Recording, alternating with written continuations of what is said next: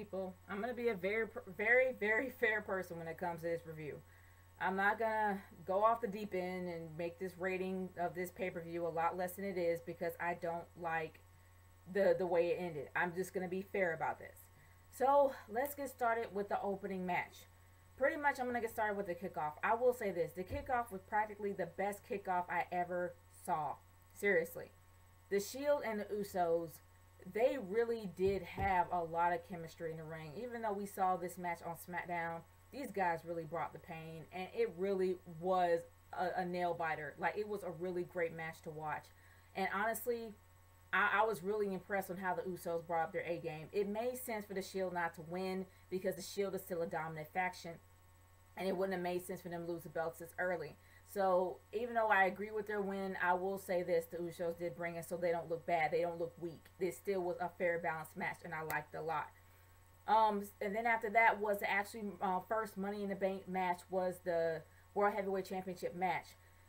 I like this match more than the All Stars because it was all about the future. It was all about the future stars representing the brand and having them come together and put on a really great match we was like maybe possibly four members that a lot of people were looking at to possibly win the Money in the Bank.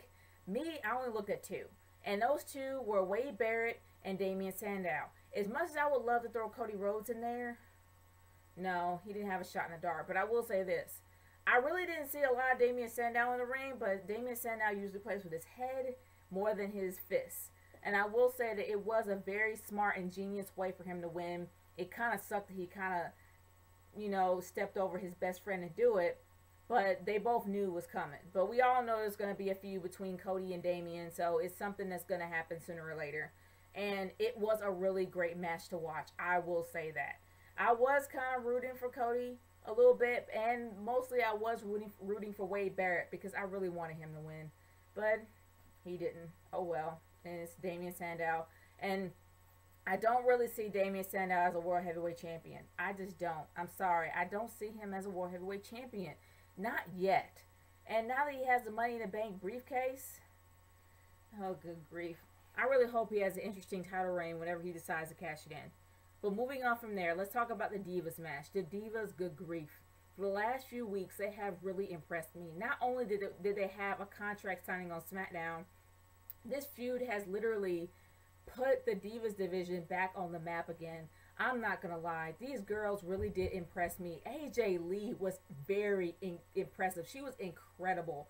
I never knew that she knew that many submission moves, let alone was able to take Kaitlyn down not once but twice. And honestly, Kaitlyn is all brute strength, but she has no idea how to get out the hole. She's not that good in how to get out of a submission hole. If she found out and, and found out and worked on that craft, on how to get out submission holds, she'll be able to beat AJ. And I think that's something that's going to probably happen maybe at SummerSlam again. I'm hoping so because honestly, this feud is the best thing since sliced bread for the Divas division. So I think they're going to probably push it on as as much as they can. And but either or, it was a really great match to watch. I was highly impressed with AJ Lee as well as Kaitlyn. Now moving on to the IC Championship match with the Miz versus um, Curtis Axel. I really didn't care much for Curtis Axel at all. I thought Curtis Axel was just a mediocre guy, and the reason why he was pushed so quickly is because he happens to be Mr. Perfect's son. But honestly, after they got rid of um, uh, uh, Paul Heyman, after the Miz out of the blue kind of pulled a heel move and like pretended to be smacked in the face by Paul Heyman, which was really clever, I might add. I will say that Curtis Axel really did impress me. It shows that he really does have the skill and the possible somewhat personality. I mean, he has some personality as a heel that he could possibly be able to pull it off. But still, I still don't see him as an IC champion. But I really do say that he really did defend his cha championship well. I will give him kudos for that. I will say that. Um, moving on from there to Ryback versus um, Chris Jericho. this match was freaking random. Like seriously, it was so thrown together. And honestly, I'm realizing now they throw Jericho in feuds with people just to have the new talent to be put over because Jericho's that freaking good at doing it. Like seriously, he's that freaking good at doing it. And honestly, even though he did not win, and people keep saying Jericho needs to win, he's had so many losses, he needs to win. No, he don't. No, we don't. Chris Jericho's already been there, done that, got the t-shirt. He does not need to have any more wins. He's already proven that he's a great competitor. He's already proven that he is a true champion. He is the only undisputed champion, and he has proven that many, many times again. His job as a veteran now is to put over the new talent, and he put over Ryback really, really well. Even though Ryback had a really cheap roll up pin, even though he was a monster heel and he could have dominated him. Yeah. But anyway, moving on from there. Um, let's move on to the World Heavyweight Championship match. Yeah, Alberto Del Rio. Oh boy, Alberto Del Rio versus. Um, oh, sorry, I almost fell asleep.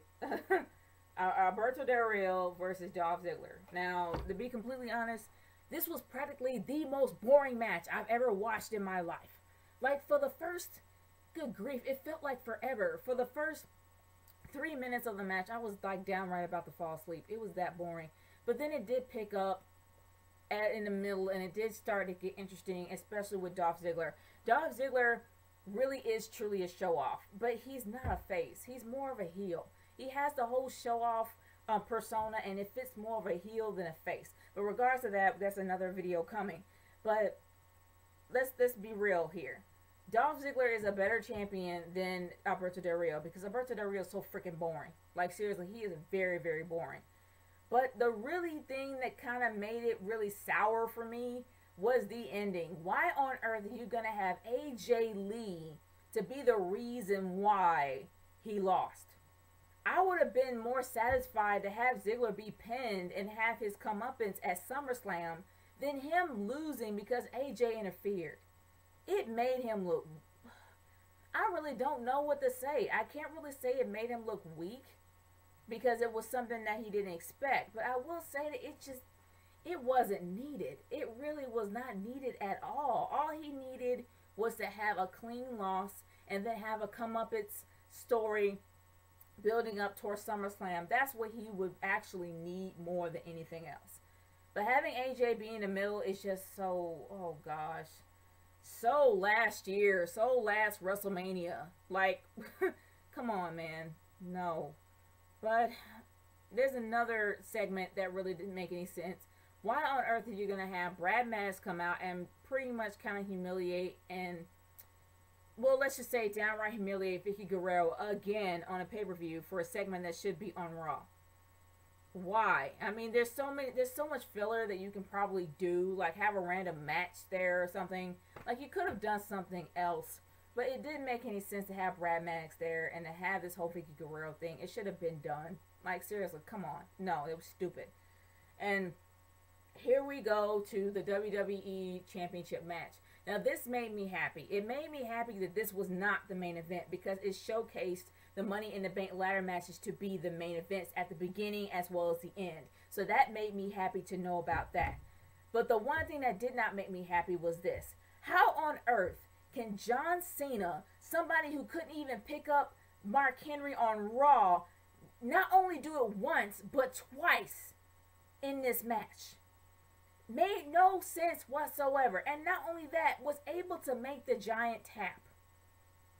The guy was a freaking beast. You were downright afraid of him for almost two or three weeks. Why in the world all of a sudden you gather all of this Hulk strength, oh my bad, Super Cena strength, and somehow was able to pull all these moves off at the last minute? Now, what really made me even more annoyed was when someone, I can't remember who, either Michael Cole or someone kept saying this was a David vs. Goliath style match. It is not. Don't you dare call it that. And the reason why is because David was supposed to be the underdog. People consider him to be the underdog, even though he had major backing on his side. And he wasn't afraid of nothing. He was fearless. I cannot say that John Cena was the same thing because number one, it was expected for him to win. He was he he even expected it to win. He even knew that he was gonna win. So we can't really say that it was a David vs. Goliath style match, even though he was fighting a giant. We can't. I'm sorry. Because John Cena already knew that he was going to win and he was going to be dominant in the whole match. We knew this. He knew this. So we can't call it that. And that's the only thing that kind of ticks me off is that it was not natural enough. It just it just wasn't. I'm sorry. It was something that was too expected, too predictable, and even he knew that he was going to win. Ridiculous.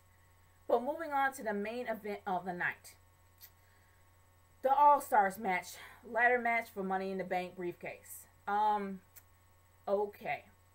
There were so many freaking rumors going on Twitter, going on Facebook, going on all different kinds of dirt sheets for wrestling about who was going to be the replacement seventh guy to come out and actually compete. And there wasn't any. There was like from Big Show to Kofi Kingston, and then we kind of threw that out the door because they were up there in commentary. So then it was all about Brock Lesnar. So we all was expecting Brock Lesnar to come out, and no Brock Lesnar. So automatically, I thought in my brain that okay, since we have no seventh guy, that means that RVD is going to take it all. Wrong. RVD did not win it at all, and I actually thought that he was good. He was pretty much the fan favorite. Everyone was chanting RVD's name, but then you already had a guy that was a lot more over than RVD, and that was Daniel Bryan. And you thought he was going to actually win because not only did he beat Randy Orton not once but twice, he's actually put over by the yes chant. So you would think that he would actually win this match, right? Wrong. Freaking Randall Keith Orton ended up winning the entire thing. Why? Seriously, why? It makes no sense. I know that there's so many Randy Orton fans out there that are probably so happy and like clicking their heels and doing cartwheels and all this other stuff. It does not make any sense for Randy to win. Randy's been there, done that, got the t-shirt nine times. It made no sense for him to get it because he didn't have to. He's a member of the Breakfast Club. He can get any match he wanted to randomly. So why on earth would he get the money in the briefcase when he should have gave it to, Rand, uh, to to Daniel Bryan? It would have made more sense for Daniel Bryan to win. I'm sorry. Not only that, it kind of made RVD's return a complete waste. It really was. So the entire ending of the of, of the All Stars match made no sense. Plus, it did kind of start something with CM Punk, and it did kind of show that Paul Heyman kind of went against CM Punk and kind of cost him the entire Money in the Bank match. So that's something to look forward to on Raw. But I will say the ending just did not satisfy me, and just for that alone, as well as the John Cena match, the match ending for the All Stars match, and a segment for the Raw segment that's supposed to be on Raw but on the pay per view, I have to give it an 8 out of 10. For that reason, for that reason alone. But the entire pay per view itself was very solid.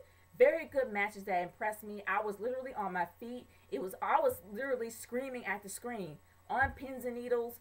Seriously, it was a really great pay per view to watch. But those three segments kind of messed things up for me, so I have to give it an 8 out of 10 for that reason. I'm not going to downgrade it because of the, the wrestler that I didn't like. I'm just absolutely going by the flow of the storyline as well as the build and how it would make sense for the characters to actually win the match. So for that reason alone, I am giving it an 8 out of 10, and that's still a good rating. But I'm curious to hear what you guys think about this. How do you rate Money in the Bank? Leave a comment in the comment section below or send me a video response. I'm curious to hear what you guys think about Money in the Bank and what you would change about it and whether or not you're going to be excited about it next year or SummerSlam. Either or, it's in it's in y'all's court right now. It's Nature Girl 30 signing off. Peace out. Later.